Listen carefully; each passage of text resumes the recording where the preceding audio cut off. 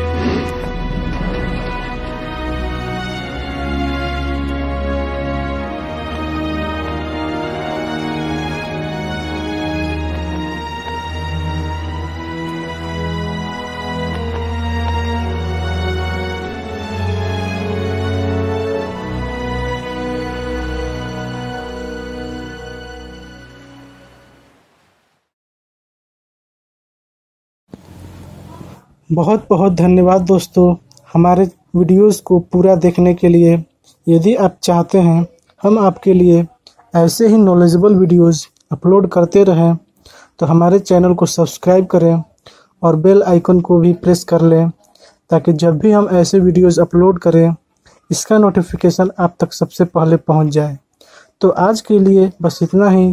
अगर आपको ये वीडियोस पसंद आया तो कृपया इसे लाइक करें और शेयर करें। bye bye friends.